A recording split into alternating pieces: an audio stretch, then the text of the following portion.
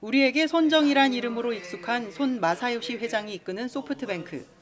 이 소프트뱅크가 일본 라인의 경영권을 놓고 네이버와 진행 중인 지분 매각 협상이 난항을 겪고 있다는 일본 언론의 보도가 나왔습니다. 라인은 동일본 대지진이 일어난 지난 2011년 네이버 기술을 기반으로 일본에 뿌리를 내렸습니다. 일본 국민 메신저로 자리 잡으며 이제는 일본인 9,700만여 명이 사용할 정도입니다.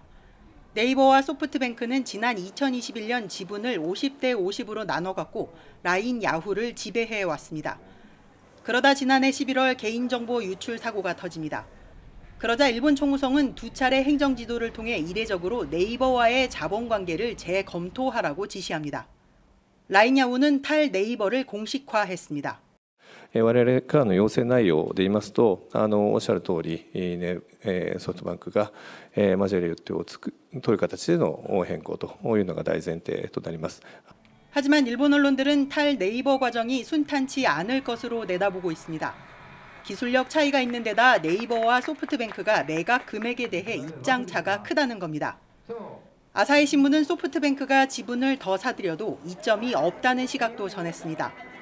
전례 없는 일본 정부의 행정지도부터 지분 매각까지 라인 메신저의 향방을 놓고 한일 양국의 관심이 쏠리고 있습니다.